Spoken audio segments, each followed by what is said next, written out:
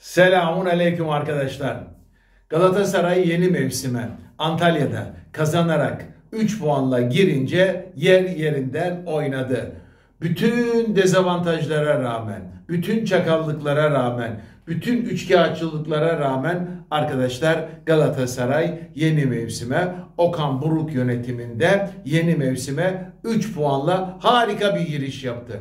Bu girişin 3 puandan bağımsız olarak bir takım verdiği mesajlar var.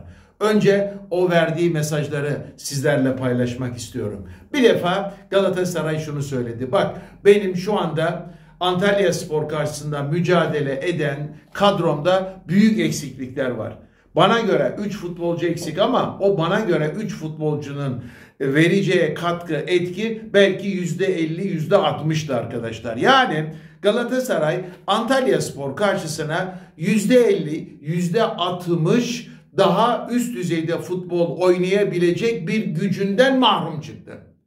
Siz şöyle düşünmeyin. Torreira yok, Mertens yok, e sağ tarafta da Dubois yok. O zaman 3 tane oyuncu yok. E niye yüzde 60 e, olsun, ya 50 olsun, 60 olsun, hatta 70 olsun diye sorabilirsiniz. Bir defa arkadaşlar bu 3 futbolcu yeni transfer bunlar ve bunların kaliteleri, kapasiteleri, takıma verecekleri katkılar tartışılmayacak derecede açık, net ve kesin. Şimdi biz yıllardan beri neyin özlemini çekiyoruz Galatasaray'da? 6 numara 6 numara diyoruz. Torreira oranın gerçekten tam hani cuk oturan bir adamı mı? Evet. Sadece ora için mi e, Torreira e, şey uygun, çok uygun, çok ideal kişi? Hayır değil. Torreira hem orası için hem takım için hem de arkadaşları için çok değerli, kapasiteli bir oyuncu. Devam ediyoruz arkadaşlar. Yıllardır Galatasaray özellikle Snyder'dan bu tarafa bir de 10 numara Özdemir ile yanım tutuşmuyor mu? Tutuşuyor. Peki Mertens sadece bir 10 numara mı? Hayır. Özellikleri itibariyle Mertens'i değerlendirmeye aldığımız zaman normal bir 10 numara diyemezsiniz ona. 10 numaradan daha fazlaları var. Belki gerçek ideal bir 10 numara değil ama çok çok çok çok fazlası var. Hele bugün Galatasaray'ın ihtiyacı olan o mevkide hiç kimsenin olmaması, o anlamda bir on numaranın olmaz, olmaması dikkate alındığında Mertens'in ne kadar katkı vereceğini, ne kadar faydalı olacağını, Mertens'in arkadaşlarını, çevresindeki diğer oyuncuların verimini ne kadar artıracağını çok rahatlıkla görebilir, söyleyebiliriz arkadaşlar. Peki sağ tarafta oynayan Dubois Lyon takımının, Fransa milli takımının e, oyuncularından biri. Tecrübeli, kaliteli bir oyuncu. Galatasaray'da çok iş yapacağını biz biliyoruz. Galatasaray uzun dönem Özellikle Mariano'dan bu tarafa zaten ideal bir sağ bulamadı. Sağ kanat oyuncusu bulamadı. Ebue işte Mariano ötesi bir daha olmadı arkadaşlar. Kimlere gidildi, kimler geldi, kimler e, oralarda iki numara diye sağ diye konuldu. Hala oralardan verim alınamıyor. Ama şunu söyleyelim. Boy kamplara götürülmedi. Hazırlık kamplarına götürülmedi. Gözden çıkarılmıştı. İşte Omar'ın sakatlanması, Duvan'ın olmaması e, bir yerde ister istemez hemen apar topar Boğa'ya sarıldılar. Boğa Antalya maçının ilk yarısında biraz sallandı ama hakkını verelim ikinci yarıda gayet iyiydi. Yani bu yaşta genç bir oyuncuyu benim fikrim şudur arkadaşlar. Evet Omar'a vefa gösterildi o oldu bu oldu ama Ömer olmayacak zamanlarda su koy veriyor. Uzun zamanlar e, dönemiyor. Yani Omar'ı gönderip Boya'yı tutmak bence daha mantıklı olur. Bilemiyorum. Burada tabi vefa duygusundan hareketle e, bazı yanlış kararlar alınıyor. Bana göre doğru değil yani. Şimdi bunu da bir tarafa koyuyoruz arkadaşlar. Demek ki 3 oyuncunun olmaması Galatasaray açısından çok büyük dezavantajdı. Peki bir de şu söyleniyor ki bu olmayan bir şey ama olduğu zaman ne olur onu anlatmak için söylüyorum. Deniliyor ki evet Mertens var, Torreira var, ama Galatasaray oraya Mertens'i 10 numara pozisyonunda kullanmayacak. Oraya özellikleri itibariyle, bilinen özellikleri itibariyle başka bir on numara gelecek. O zaman oraya başka bir on numara gelirse Mertens'i forvet gibi yani Seferovic'in Gomis'in yanında üçüncü bir forvet gibi düşünülebilir. Oraya ayrıca bir oyuncu alınmaz ama onlar diyorlar ki biz ayrıca işte Gomis, Seferovic arası bir oyuncu daha alacağız. Valla ağanın eli tutulmaz. Alırlarsa biz bundan memnunluk duyarız. Bu da e, ayrıca belirtilmesi gereken bir husus olarak cebimizde dursun arkadaşlar. Şimdi Galatasaray Antalya'dan 3 e, puanı aldı. Mevsime başarılı bir giriş yaptı. Ve az önce anlatmaya çalıştığım eksiklere rağmen ve Antalya tabii fikstür açısından çekilebilecek e, bu mevsim itibariyle ilk maçta çekilebilecek en dezavantajlı rakip de Antalya'nın kendi gücünü, kapasitesini biliyoruz. O ayrı dava. 16 maçtır yenilmemişler. Herkesi işte ya berabere kalmışlar, yenmişler, iyi bir grafik tutturmuşlar. Bir defa bu da vardı. Artı en önemlisi Antalya'nın sıcağı, nemi, bırakın futbol oynamayı yürümeye bile fırsat vermezken arkadaşlar o sahada öylesine ölümüne mücadele edildi ve birilerinin bir takım zortlak tiplerin dediği, dediği hani 37 yaşında Galatasaray'a ne verecek dediği Gomis abi girdi 87'de girdi 90'da golünü attı. Harika süper 10 numara. Peki gol nasıl geldi abi? Golün yapılışında bir defa hocayı kutlamak lazım. Okan Buruk hocayı kutlamak lazım. Ya maçın da son bölümü gelmiş. Şurada bir 7-8 dakika 10 dakika neyse uzatmalarla beraber idare edelim. Eee Beraberlik de bizim için iyidir. Antalya'nın bu sıcağında Antalya Spor gibi güçlü bir rakipte ne beraberlik alıyorsak bu bizim için kardır deyip arkadaşlar beraberliğe yatmadı. Yani başkaları ne yapardı abi? İşte Gomis oyuna girerse Mustafa Muhammed çıkar. Mustafa Muhammed girerse Cagnet çıkar. Yani orada hep bir tane adam olurdu. Hayır öyle yapmadı. Yunus'u çıkardı e, e, Gomis'i oyuna alırken Okan Buruk Yunus'u çıkardı. Cesur davrandı. Yunus çok yıpranmıştı. Çok koşmuş. Çok çalışmıştı. Yunus'u çıkardı. Radikal bir karar verdi arkadaşlar. Ondan sonra da Seferovic, e, Gomis ve Mitsio işbirliği sonunda Gomis'in son vuruşuyla güzel bir gol geldi. 3 puan geldi. Şimdi bu gelen 3 puanı akılda iyi kalsın diye birilerine nasıl da nokta nokta diyelim. Ee, anladınız siz ötesini. Anladınız değil mi arkadaşlar? Şimdi bu bu bir defa Galatasaray'ın Antalya sıcağında güçlü Antalya deplasmanında lige yeni mevsime 2022-2023 sezonuna 3 puanla başlamış olmasının mesajı çok büyük. Eksiğim, her türlü dezavantajım var. Daha takım olamadım. Hocam yeni, futbolcularım yeni. Ama ben geldim Antalya'nın bu sıcağında aslanlar gibi mücadele ettim. He? Hiç gözünün yaşına bakmadım, geri adım atmadım. Daha önce Galatasaray e, sezonu geçen sene nerede bitirmişti? Onu daha önce de söylemiştim. Antalya'da bitirmişti. Antalya'da sezonu bitirdiği takımın üstüne onca eksiğine rağmen 5 tane 6 tane de ilaveyle yeni bir e, takım hüviyetinde ama eski alışkanlıkların da biraz var olduğu dikkate alınırsa arkadaşlar e, Galatasaray bütün bunlara rağmen çıktı, oynadı, mücadele etti. Geri adım atmadı. Rakip Antalya'dır diye geriye çekileyim. Kendi yarı sahamda al ver paslar yapayım. Kaleciye yana geriye paslar yapayım. Ondan sonra da maçtan sonra da yenilsem de e, topun hakimi bizdik. Oyunun hakimi bizdik. Ama işte bir şanssız golle yenildik. Hakem de o penaltıyı verdi işte falan filan gibi bir takım boşluklara da sığınmalar olmadan e, canla başla mücadele edildi. Ve şunu biz biliyoruz ki izleyenler Maçta olanlar ve de ekran, ekranları başında bizler gibi ekranları başında olan kardeşler Galatasaraylılar şunu gördüler. Ya helal olsun. Evet tam belki on numara değil ama bu takım iş yapar. Bu takım futbol oynuyor. Bu takımda hayat var. Bu takımda iyi niyet var. Bu takım abi beni sinir etmiyor. Kaleciye geriye yana paslarla rakibe gel gel yapmıyor. Rakip benim üstüme çullanamıyor. Koskoca Antalya Spor yani koskoca derken bu ligin güçlü takımlarından biri olan Antalya Spor Galatasaray'ın önüne öyle eskiden e, olduğu gibi diğer rakiplerin yaptığı gibi gelip çullanamadılar. Galatasaray sağdan soldan nasıl olsa bunlar defanstan top çıkarırken kaybederler çöreklenelim şunun üzerine diyemediler. Galatasaray gittikçe gitti, bastırdıkça bastırdı ve sonuç itibariyle pozisyon vermedi mi verdi. Biraz önce de söyledim. Sen eğer yüzde 50-60 oranında eksik gidiyorsan en iyi oyuncular 6 numara, 10 numara, işte sağ tarafta 2 numara yani sağ bekin Dubuan yoksa, Torreira'nın yoksa, Mertens'in yoksa onların olduğunu düşünün. Acaba bir Torreira'nın olduğu takım mı yoksa orada Berkan'ın oynadığı bir takım mı daha çok rakip üzerinde etki yapar? Emre Akbaba evet gitti geldi iyi niyetle ama bir Mertens'i düşünün bir Emre Akbaba'yı düşünün orada. Bir Boya'yı düşünün sağ tarafta. Bir de Dubois'ı düşünün arkadaşlar. Kimin ne kadar daha çok katkı vereceğine, ne kadar çok faydalı olacağına e, artık e, bunu açık açık söylemeye bile gerek yok. Söylemeye bile gerek yok. Peki bunları biz biliyoruz. Bunlar bizim baktığımız pencereden gördüğümüz gerçekler. Galatasaray inşallah Giresun maçıyla Antalya maçının çok çok çok çok üzerine koyarak yürüyecek. Galatasaray maç kaybetmeyecek mi? Elbette kaybedecek. Puan kaybetmeyecek mi? Elbette kaybedecek.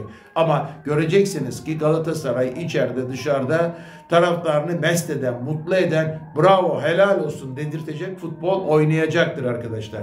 Ben buna inanıyorum şahsen. Çünkü bir defa hocanın anlayışı bu. Hoca bakın ne diyorum size abi son dakikada beraberliğe yatmadı. Oyundan e, Seferovic'i alıp yerine Gomis'i koymadı. Seferovic sağda kaldı yanına Gomis ilave etti. Mitsu verdi Gomis'e aldı şeyden bastırdı Seferovic aldı gitti verdi biri oraya biri buraya derken abi oradan zımba gibi gol geldi. Şimdi gelen bu golden sonra aslında gelen golden sonra demeyelim de gelen uçaktan ve gelen uçaktan inen yıldızlardan sonra Birileri zaten kudurmuştu. Biliyorsunuz nasıl kudurmasınlar ki? İşte daha gelir gelmez iki yıldız gelince, Torreira ile Mertens gelince vay efendim federasyonun limitleri vardı da bu limitler aşıldı da neden kimse buna dikkat etmiyor diye ağlamaya, sızlamaya başladılar. Malum lavuklar. Bunlar ağlayacaklar. Bunların işi gücü bu. Bunlar oradan da buradan da Galatasaray'a çakmaya, Galatasaray'a vurmaya başladılar. Yani bunlar bu puşlar sezonu açtılar. Çünkü oradan vuracaklar, buradan vuracaklar. Galatasaray ne yaparsa yapsın abi bunlara yaranamayacaklar.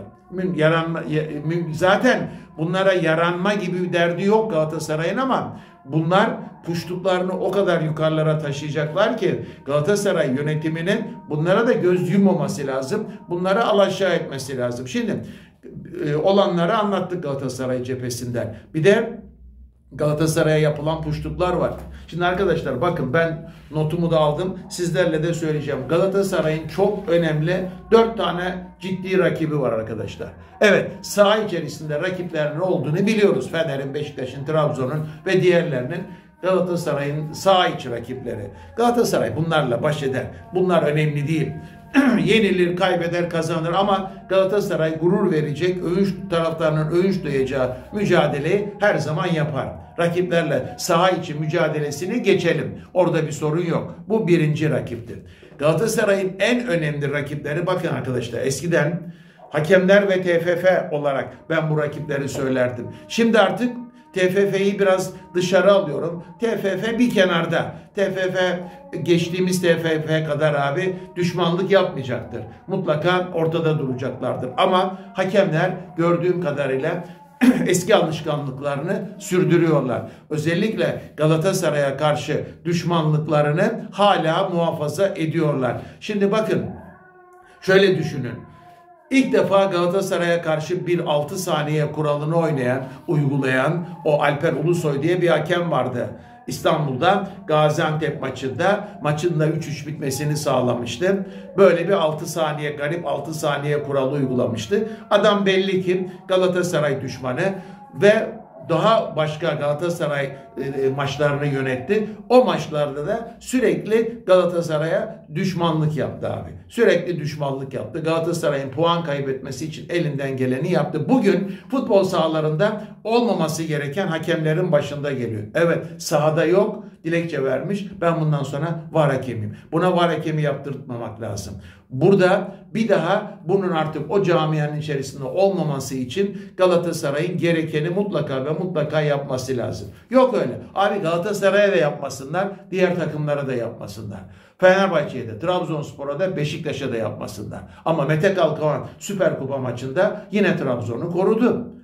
Trabzonlu oyuncuyu atsa belki e, Süper Kupayı Sivas alacak. Onu bilemeyiz. Her neyse ama yine korudu. Çünkü e, koruma içgüdüsüyle hareket ediyorlar. 6 saniyeci e, Alper Ulusoy saha içerisinde Galatasaray aleyhine verilen penaltıyı Atilla Karaoğlan görmeyebilir. Ama onu o var hakeminin görmesi lazım, çağırması lazım. Bak Bak kardeşim burada temas yok bir şey yok. Futbolcu boş çuval gibi kendini atıyor falan. Hoş buna penaltı diyen dangalaklar var tabi. Onlara bir şey diyemeyiz. Onlar ya adam dokunmuyor kardeşim. Dokunmuyor adam daha dokunmadan yalpalıyor. He? Lodos'la tutulmuş vapur gibi kendini bırakıyor abi.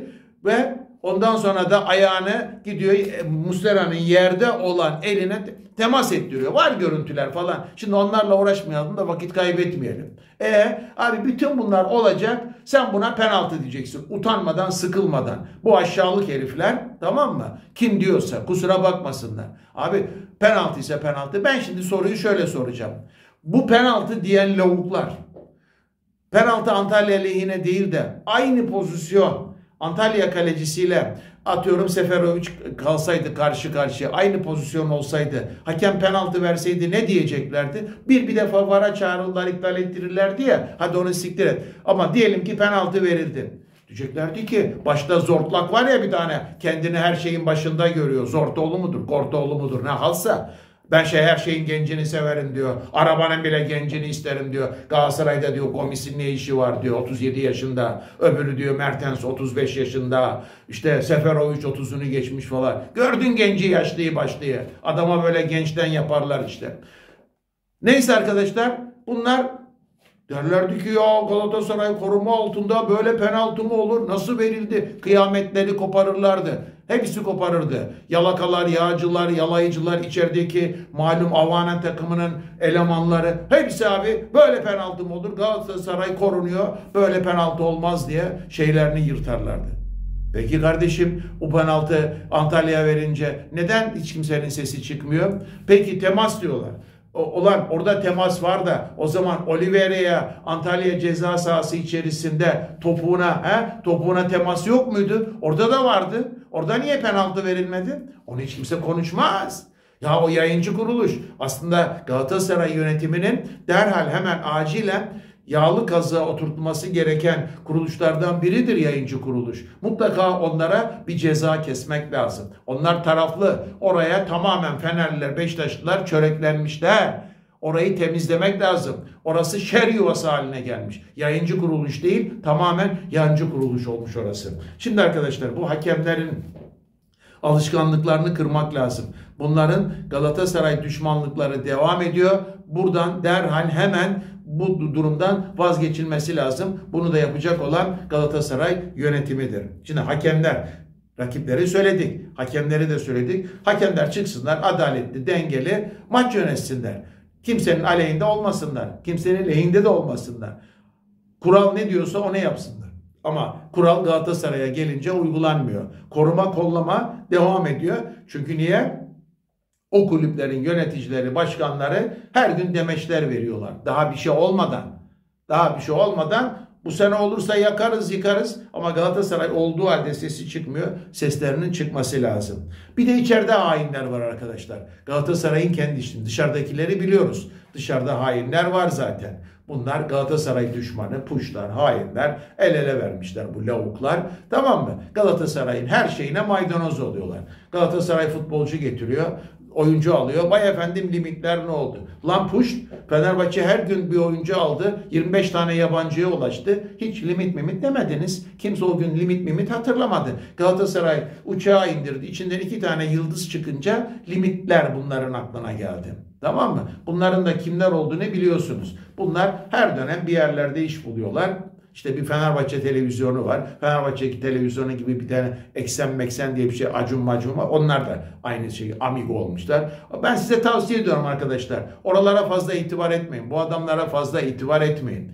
Kendi gördüklerinizde yetinin. Aa bak şu ne demiş. Bu bunu ne demiş? Abi bunlara itibar etmeyin.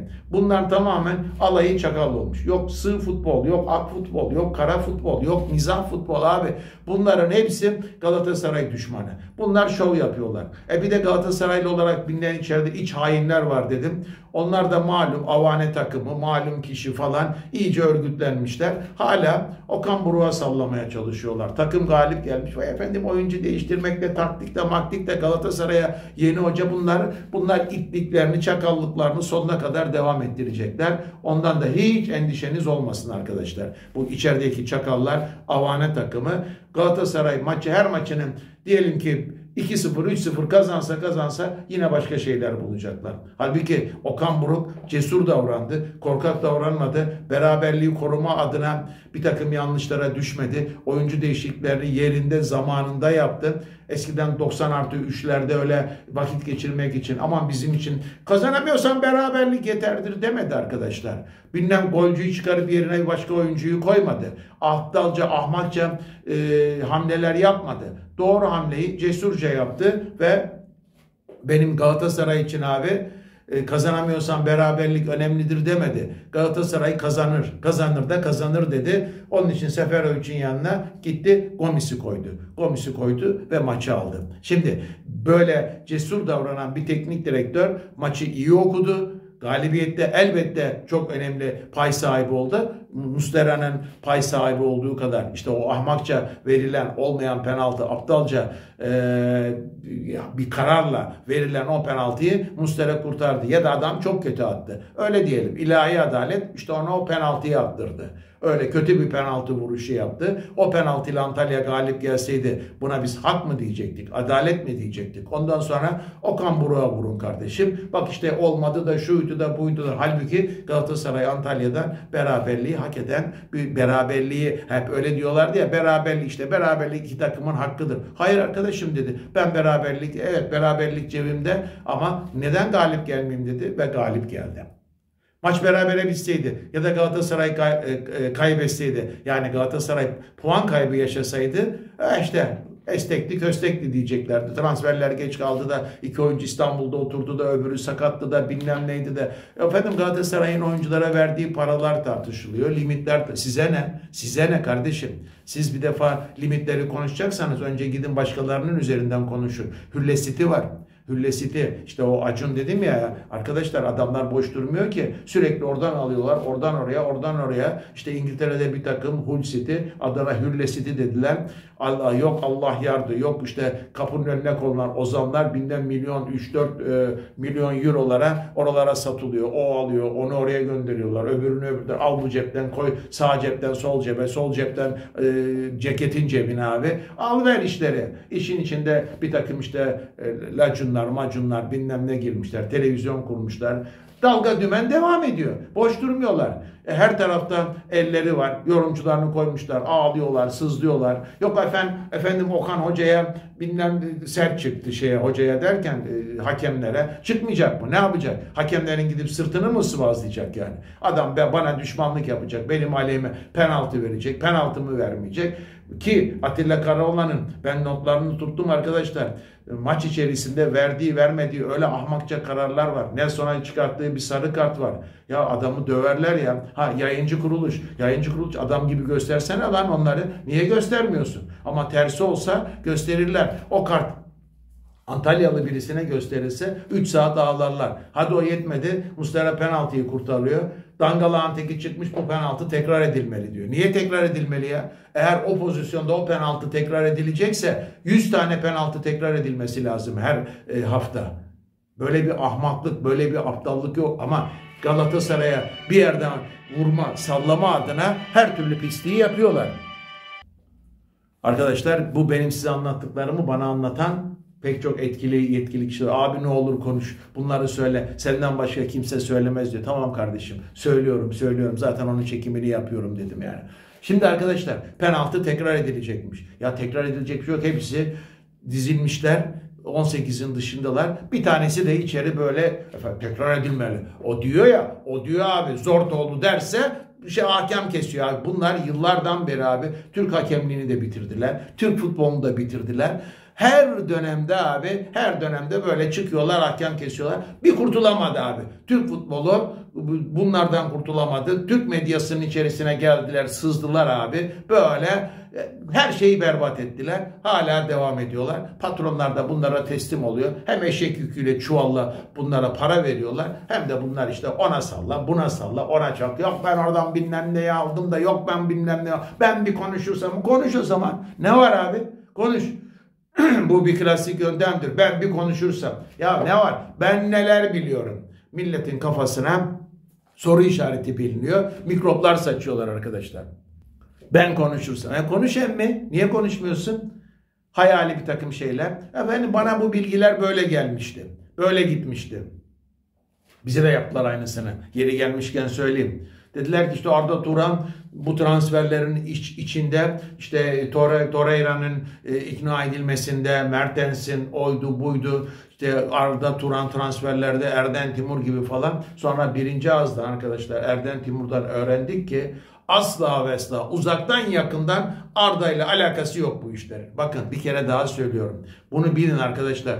Uzaktan yakından Erden Timur diyor ki havaalanında karşılaştık şeyle e, Arda ile. Orada işte Torreira ile bir görüntü vermiş falan filan nasıl olmuşsa.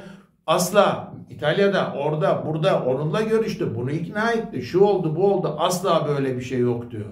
Adam bir de hatta ilave yapıyor diyor ki şu transfer e, girişlerinde gelişlerinde diyor stresten 8 kilo verdim diyor bir de ya. Düşünebiliyor musunuz? Abi böyle bir ortamda böyle bir ortamda durduk yerde Arda'ya prim yazıyorlar. Ha, bize de bunu söylediler. Biz dedik aa iyi ya ne güzel bu zamanında Avane takımına takılmıştı. Malum kişiyle sarmaş dolaş. Demek ki akıllandı. Ayakları yere basıyor. Bulutlar üzerinden iniyor. İyi Galatasaray'a faydalı olsun dedik. Sizlerden özür diliyorum. Çünkü bundan önceki iki, bir sohbet öncesinde söylemiştim. Faydalı oluyor diye. Nerede faydalı oluyor? Alakası yok arkadaşlar. Tamamen havalarında tesadüf bir karşılaşmayı yok işte neredeyse transferleri bilmem kim Arda Efendi yaptı deyince. Şaşırmıştım ama da ha iyi madem böyleyse tamam dedik destek verdik. Ama alakası yokmuş. Bunu da yeri gelmişken söyleyelim. İç hainler, abi Galatasaray'da iç hainler hiçbir zaman boş durmayacaklar. Bunlar ortalığı karıştırmaya, sulu suyu bulandırmaya hep devam edecekler. Galatasaray ne yaparsa yapsın bütün maçlarını 3-0, 5-0 kazansa da neden 6-7 olmadı diye sürekli yine caz yapmaya devam edecekler. Bunlara dikkat etmek lazım. Bunlara prim vermemek lazım. Bunların kafasını ezmekte fayda var. Bunlar Galatasaray'a zarar verecekler. Evet kıyısından köşesinden söyledim. Şimdi dedim ya rakipler, hakemler, iç hainler bir de en önemlisi medya var. Medyayı da biraz önce anlatmaya çalıştım. Spor programları, bir takım yazarlar, çizerler, adına yorumcu denen bir takım şarlatanlar abi Galatasaray'a sürekli vuracaklar. Oradan vuracaklar, buradan vuracaklar. Geçmiş dönemde yaptıkları gibi yapmaya devam edecekler. Bunların bunların kafasına çökmek lazım. Bunları yağlı kazıklara oturtmak lazım. Bunlar öyle istedikleri gibi Galatasaray'la oynamasınlar. Galatasaraylı futbolcularla oynamasınlar. Geçmişte Drogba'lara, Snyder'lere yaptıklarını biliyoruz. Şimdi taktılar. Efendim Gomis 37 yaşında, e, öbürü 35 yaşında Mertens, bir diğeri bilmem ne 30'un üstünde. Kardeşim sadece onlar mı var? 26 yaşındaki Torreira'ya hiçbir şey demiyorlar. Tamam o iyi falan. Böyle bir cümleyle böyle geçiştiriyorlar. Mitsio, Oliveira bunlar yaşlı mı? Dubois yaşlı mı arkadaşlar? Bu düzeyde bu kalitede oyuncuları Galatasaray getirmiş. Galatasaray'ı takdir edecekleri yerde vay efendim limitler ne oldu? Niye bunlara bu paralar veriliyor? Sana ne? Muhasebe müdürü müsün? Limitleri federasyon düşünsün. Federasyon e, Fenerbahçe her gün bir oyuncu alırken limit e, kuralından vaz mı geçmiş oluyor? Şimdi duyduğum kadarıyla e, Fenerbahçe, Beşiktaş, özellikle Trabzon falan bu 8 artı 3 kuralının kalkmasını istiyorlar. Belki birkaç güne kadar kalktı kalkacak. O zaman yine bunlar başlayacaklar. Vay efendim bu kural kalktı. Ama ona da pek itiraz etmiyorlar. Çünkü Galatasaray o kural kalksa da zaten Kerem de ne bileyim e, şey e, sağ tarafta Yunus, Yunus'u, Abdülkerim'i zaten oynatacak. Bunlar diyor ki hiç olmazsa diyor bunlar zaten oynayacaklar diyor. Fark etmez diyor. Elinde de e, kaliteli oyuncular var diyor. Öbürlerinki gibi döküntü değil ki. Hiç diyor hiç olmazsa kalksın da kural bize yarasın diyorlar. Fener'in elinde 25'e yakın 22 mi 23 tane olmuş. 14 tane nerede? Efendim 14 tanesinden sen 14 taneyi alıyorsun, sözleşme yapıyorsun. 14'ten sonrasına 500 bin lira federasyona yatırdığın zaman elinde tutabiliyorsun. Onlar şimdi bundan dolayı böyle ellerinde tutma düşüncesi içerisinde olduklarından e, pek fazla e, şey yap sıkıntıya girmiyorlar. Ama bu yasak kalkabilir. Galatasaray zaten e, kalksa da kalkmasa da o çocukları, o gençleri zaten oynatacak. Hamza'sıydı, Kerebi'di, Yunus'uydu, e, Abdülkerim'iydi. Zaten oynayacak abi. Galatasaray'ın da yerli rotasyonunun da çok kötü olmadığını söyleyebiliriz. Hatta hatta iyiden de öteye diyebiliriz arkadaşlar. Arkadaşlar kusura bakmayın bu faranjit hikayesinden dolayı boğazımızda bir sorun oluştu. Epeydir bunu atamadık, atmaya çalışıyoruz. O yüzden de bazen zorlanıyoruz. Çok gevezelerde zaten bu faraşet hikayesi oluyormuş.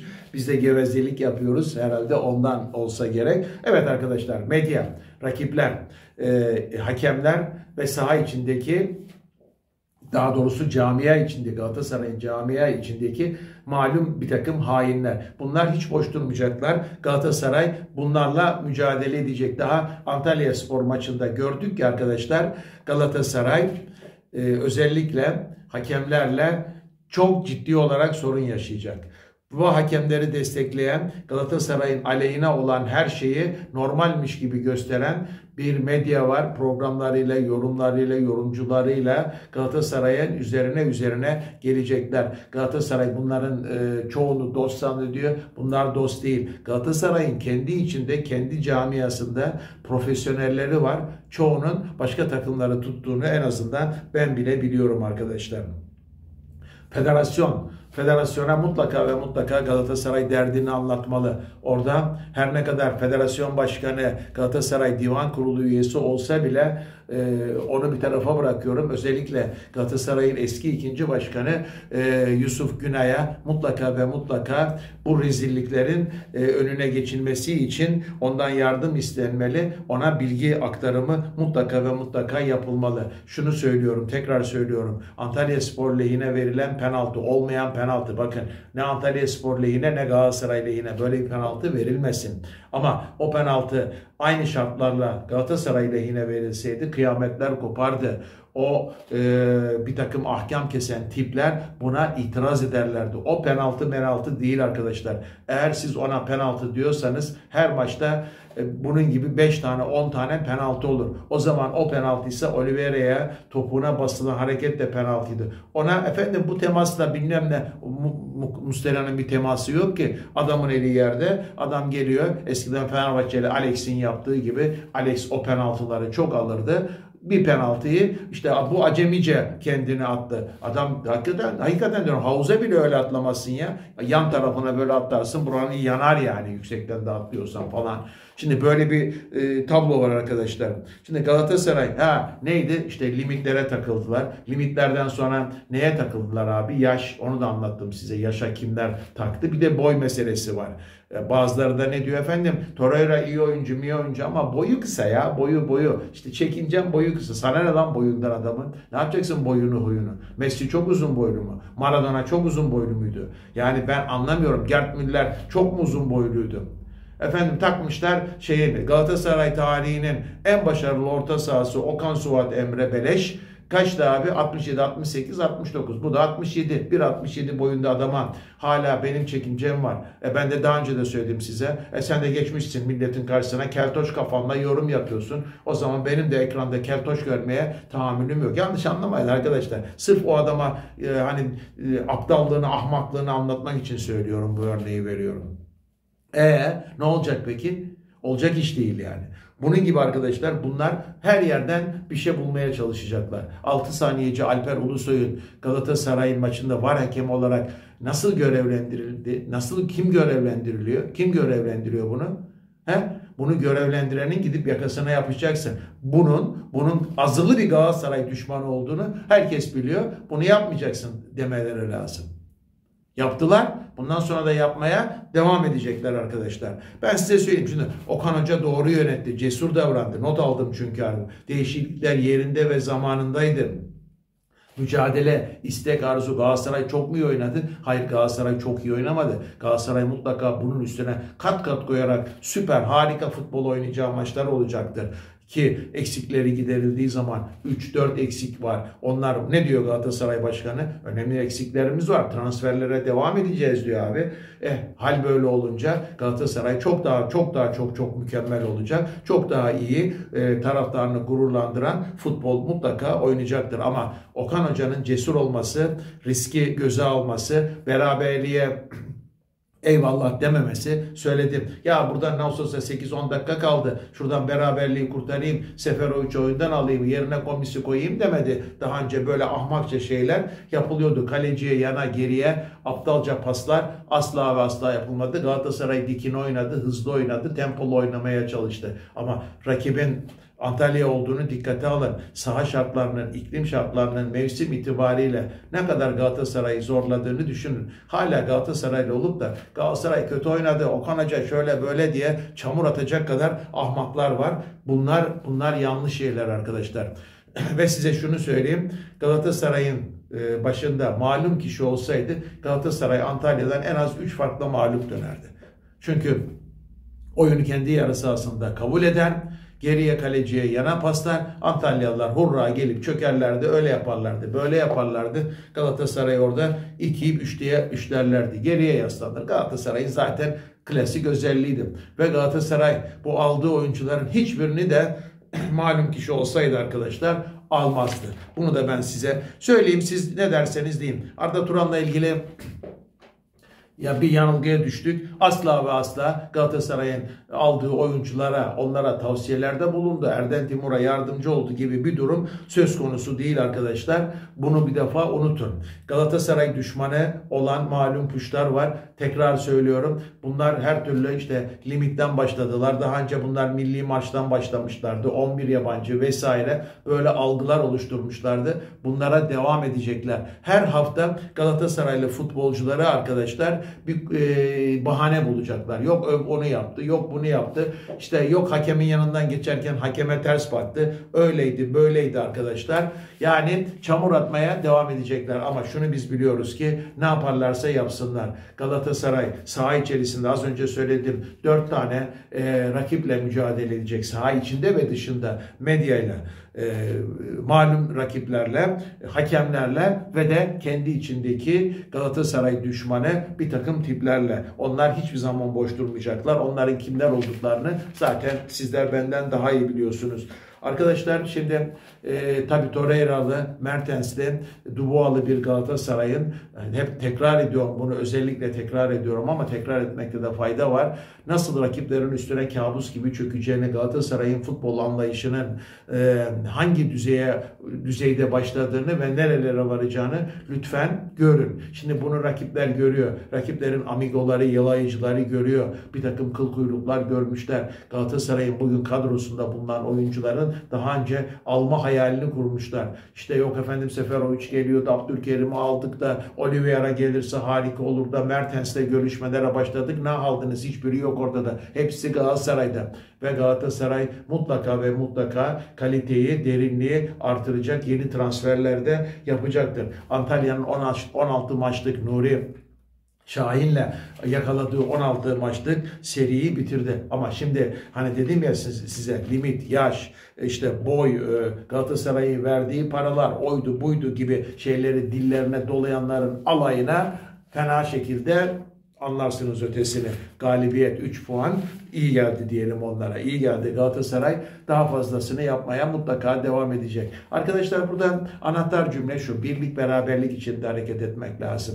Galatasaray'ın şu anda kazandığı e, ve aldığı 3 puan tabii ki çoklarını rahatsız etti. Ben hep söylüyorum Galatasaray kazandı ama bakın kimler neden niçin rahatsız oldular. Rahatsız oldular çünkü rakipleri biliyoruz. O yalayıcı yıkayıcı takım var. İşte kaç senedir şampiyon olamayan takımın taraftarları, amigolar oyuncuları bu sene şampiyon olacağız diyorlardı. Galatasaray'dan böyle bir hamle beklemiyorlardı. İşte kendini e, buğday ambarında gören başka aç tavuklar da vardı. Onlar da biz şampiyon oluruz falan diyorlardı ama Galatasaray hamlelerini yaptı, yapmaya devam edecek. Hepsinin dengeleri bozuldu, kimyaları bozuldu, allak bullak oldular. Diyorlardı ki ya tamam ne olursa olsun zaten yeni transferler de Antalya'da yok. Galatasaray Antalya'dan çıkamaz diyorlardı. Galatasaray Antalya'yı mağlup edince eyvah yandık Allah dediler. E, dübürleri fena adet düştü. Şimdi 3.5 atmaya başladılar. 3.5 atmaya başladılar. Bunun içinde bu 3.5 atanların içinde Galatasaray'ın malum kişinin avane takımı da var. Onlar da yakında birbirlerinin gözünü oymaya, altlarını oymaya başlayacaklar. Zaten ufak ufak birbirlerini yiyorlar. O ayrı dava da yakında iyice e, birbirlerine düşecekler. Bunu da söyleyelim. Galatasaray şimdi Giresun peşinden Ümraniye, Ümraniye deplasman peşinden Trabzon deplasman arkadaşlar. Giresun'da malum Ali Samiye stadında oynayacak Galatasaray. Trabzon'dan sonra da yanılmıyorsam Gaziantep Spor gelecek Galatasaray'a. Şimdi Galatasaray'ın böyle bir önünde e, maç tablosu var. Ama Galatasaray, Giresun ve Ümraniye maçlarından sonra Trabzon'la tahmin ediyorum ki herhalde ligde e, neler yapacağının gerçek net mesajını verecektir. En güçlü haliyle Trabzonspor karşısında inşallah Galatasaray yer alacak ve ondan sonra da e, hani kimlerin nasıl neden niçin paçalarının tutuştuğunu, kimyalarının bozulduğunu, dengelerinin iyice e, ayarlarının gittiğini, şaftlarının kaydığını, kafayı nasıl yediklerini bir kez daha göreceksiniz. Galatasaray hakikaten hiçbirimizin beklemediği derecede Okan Buruk'la bir ivme kazandı. Dursun Özbek'ten bu kadar transferleri doğrusunu söylemek gerekirse ben de beklemiyordum. Bu kadar yerli yerine oturtulan nokta atışların yapılmasını e, hakikaten beklemiyordum ve eleştirdiğimiz zamanlar oldu. Eleştirdiğimiz işte geç kalmalardan dolayıydı. Hani Antalya maçına, ligin ilk maçına e, işte ön liberonla çık, 6 numaranla çık, 10 numaranla çık diyorduk ama her neyse ki Galatasaray onlarsız bile çıktı. Onlarsız kazandı. Mesaj net oldu. Galatasaray gücünü, kalitesini, kapasitesini, büyüklüğünü, şanını 100. yılda en güzel şekilde Galatasaray ruhuyla birleştirerek ortaya koymaya niyetli. Ne diyor Dursun Özbek?